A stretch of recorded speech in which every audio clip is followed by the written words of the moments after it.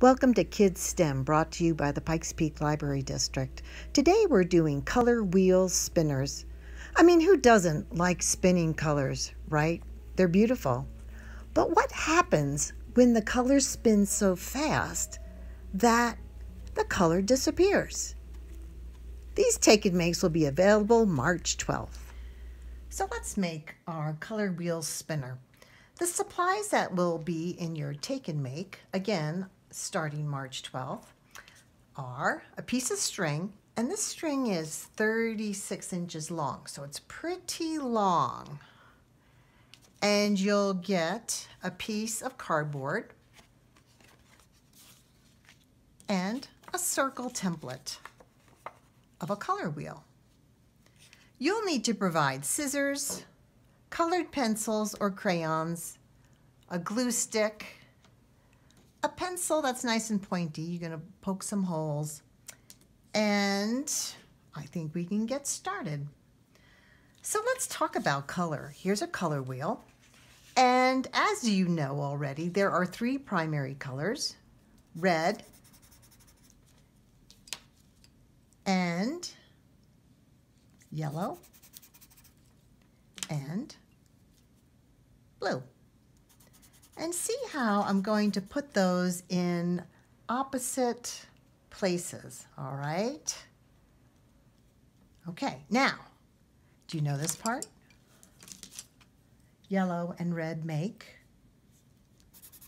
orange, and red and blue make purple, and of course, yellow, and blue make green. Now I'm going to finish coloring this in a bit. But that is your basic color wheel. And you've got primary colors and then the secondary colors of green, orange, and purple. All right, so not to take time to continue coloring, I have one made here already. And I'm going to put it on the cardboard and cut out a circle around my color wheel template.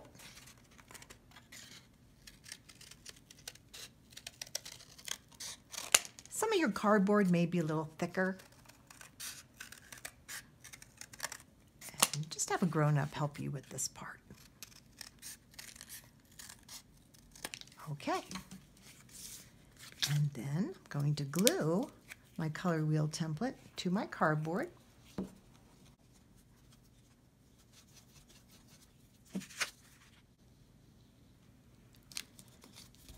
And then,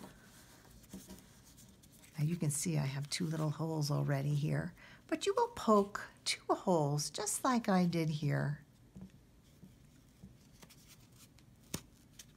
through the cardboard. Okay side by side. You see how I did that? All right.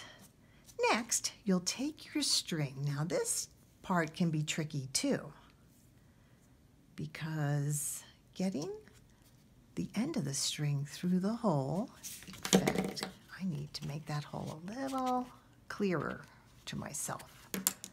Okay, I'm gonna poke it through.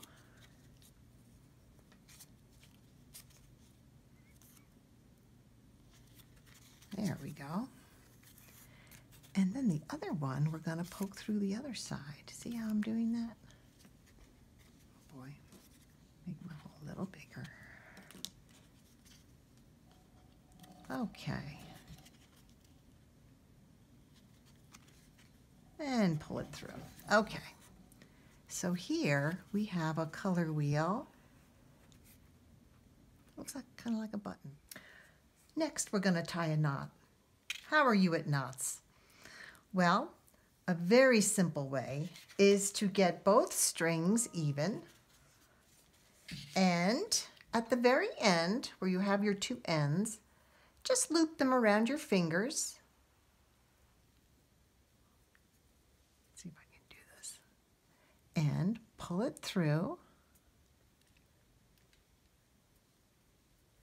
and you've made a very simple knot. Like that. Okay, so to get this started, I'm going to pull the thread back through, have the spinner in the middle, and start swinging it. See if you can get the colors to look white. White light, like sunlight, is made of all the colors in the rainbow. When light hits a colored object, most of it's absorbed and only one color is reflected. Like a red object, for example, absorbs almost the full spectrum of light, reflecting red only. When the color wheel was spinning fast enough, let's get it going, the colors changed faster than your eyes could see. That's why you can't see the individual colors.